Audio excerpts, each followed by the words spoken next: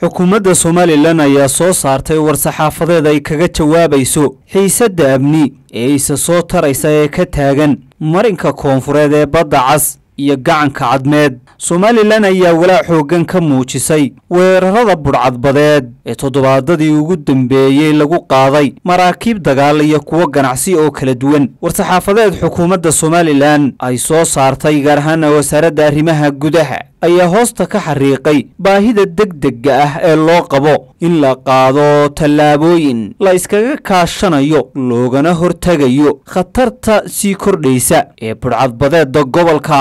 War-saxaafadeedkan ayaa lagu iftiimiyey dhibaatooyinka dhaqaale iyo kuwo bulsho ee ka iman kara dhaqdhaqaaqyada sharci darrada ah ee ku sii batay guud ahaan badda cas iyada oo dowladdu ka cabsi qabto suurtagalnimada kororka qiimaha badeecadaha oo ka dhalanaya kororka kharashka caymiska maraakiibta. Somalilan ayaa leh siddeed boqol iyo konton kilomitir oo xeeb ah oo ku dheraran gacanka cadmeed waxaana ilaaliya ciidamada ilaalada xeebaha ee somalilan waxayna xukuumaddu sheegtay inay qaaday tallaabooyin wax ku ool ah oo ay kaga hortegayso budhcadbadeedda iyo tahriibta ka bixi karta dhulkeeda iyaga oo dib u xaqiijinaya u hoggaansanaanta shuruucda caalamiga ah. Somalilan waxa ay ballan qaadeen inay si hagar la'aan ah ugu heelan yihiin adkaynta nabadgelyada xeebaha badda gaar ahaana baddeeda waxayna ku celisay mar kale inay diyaar u tahay in ay si dhow ula shaqayso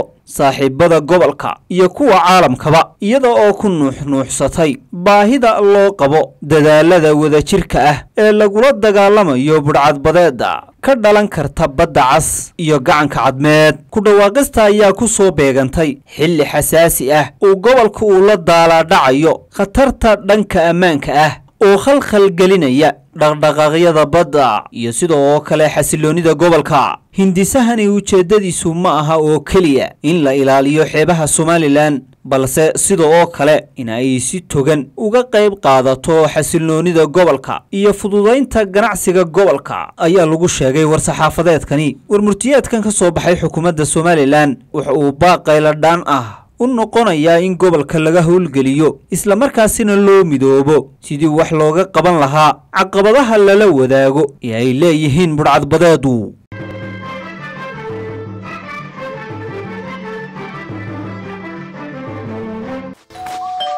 maasha allah soo dhowaada. La jaanqaad shirkadda telesom. Maxmil waxay kuu diyaarisay adeegga internetka ay faibar optiga kaasoo xawaarihiisu kala go' lahayn waa guji waa ishaa biligteeda أنتو سوق لنايو هادا البقم هاجر اللي إيكو استعمال سوشيال ميديا كنا دعوة وررك عياراها إيو أونلاين هادا هدبا محمل سوق الشجور جاجا حفيز كاجا إيو جوب تعد الشقو فضلا نجلسو حديد نمبر كجابن one to one.